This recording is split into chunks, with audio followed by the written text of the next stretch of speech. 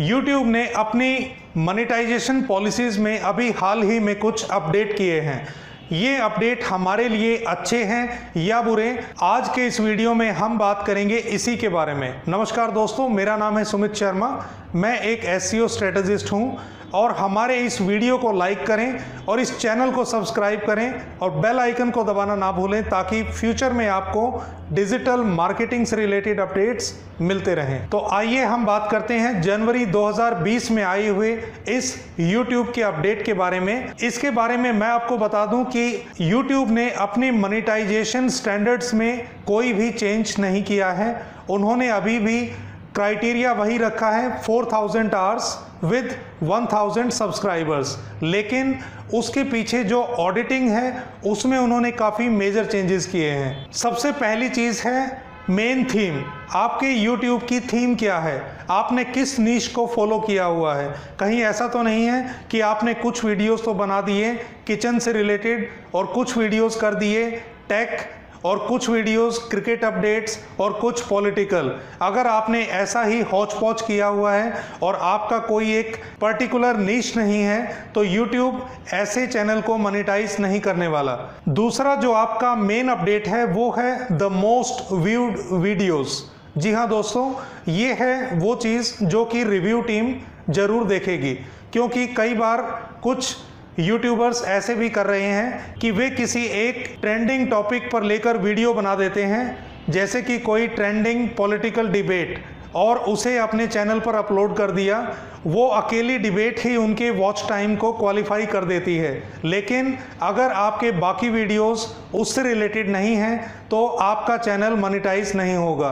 तीसरी जो चीज़ review team देखेगी, वो है, आपने अभी हाल ही कौन कौन से वीडियोस अपडेट किए हैं कि पिछले एक दो महीने में जो आपने वीडियोस डाले हैं, वे किस सेगमेंट के लिए हैं और किस तरह की वीडियोस हैं। चौथी चीज़ जो आपकी चेक की जाएगी, वो है आपका रेफरेंस और आपका सोर्स कोड कि आपने जो भी अपने यूट्यूब के ऊपर वीडियो डाला है, उसे आपने कहाँ कहाँ शेयर किया है?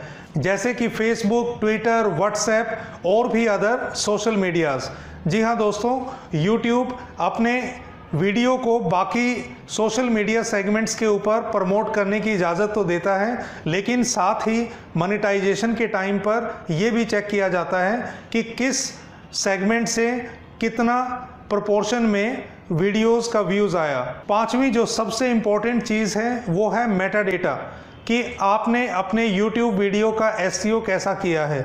आपने उस YouTube वीडियो का टाइटल क्या रखा है? आपके टाइटल में या फिर आपकी थंबनेल पिक में कोई भी क्लिक बेट नहीं होना चाहिए, किसी भी किस्म का रॉन्ग इंटरप्रेट नहीं होना चाहिए। आपकी जो YouTube की गाइडलाइंस हैं, उन्हें अच्छे तरीके से फॉलो होना चाहिए। इन पाँच गाइडलाइंस को आप ध्यान से देखिए और अगर आप चाहते हैं इसका प्रिंट आउट लेना तो उसको भी मैंने नीचे डिस्क्रिप्शन बॉक्स के अंदर उसका लिंक दे दिया है। आप वहाँ से उस लिंक पर जाकर इसे पढ़ सकते हैं और आप अगर चाहें तो इसका प्रिंट आउट भी ले सकते हैं। अब सवाल उठता है कि ये अपडेट आपके लिए अच्छा है या बुरा? तो मैं यही कहूँगा कि YouTube अब समझदार हो गया है। ये एक तरीके से अलार्मिंग कॉल है। या एक वार्निंग उन यूट्यूबर्स के लिए जो कि अपने चैनल को मोनेटाइज करने के लिए कुछ अनफेयर मीन्स का भी सहारा लेते हैं। जैसे कि क्लिक पेड कुछ भी ऐसा ट्रेंडिंग टॉपिक लेकर उसके ऊपर वीडियो बना देना और बाद में उस वीडियो को प्राइवेट कर देना।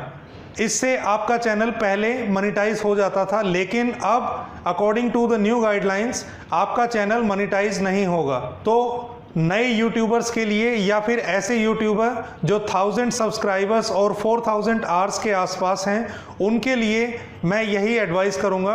आप अपने नीच को फॉलो करते रहें और आप पीपीसी को फॉलो करते रहें। प्लान प्रोग्राम एंड कंसिस्टेंसी जिस कंसिस्टेंसी के साथ आप वीडियोस डाल रहे हैं और एक कंटेंट डिलीवर कर रहे हैं यूनिक कंटेंट उसी फ्रीक्वेंसी के साथ आप वीडियोस डालते रहें। विद फुल कम्युनिटी गाइडलाइंस तो आपका चैनल मोनिटाइज हो जाएगा। केवल एक चीज़ आपने ध्यान में रखनी है, वो है पेशेंस और इन वीडियोस में काफ़ी एनर्जी और काफ़ी एफर्ट्स लगता है। तभी हम ऐसा वर्सेटाइल कंटेंट आपको डिलीवर कर पाते हैं। तो हमारे इस वीडियो को लाइक करें और इस चैनल को सब्सक्राइब करें ताकि फ्यूचर में आपको डिजिटल मार्केटिंग से रिलेटेड अपडेट्स मिलते रहें। इस वीडियो को ज़्यादा से ज़्यादा अपने फ्रेंड्स और रिलेटिव्स में शेयर करें। हमारा ये प्रयास कैसा लगा, इसे नीचे कमेंट बॉक्स में ज़रूर डालें। हम फ्यूचर में भी ऐसे ही वीडियोज़ को लेकर आते रहेंगे। अंत तक हमारे साथ बने रहने के लिए धन्यवाद। शुक्रिया।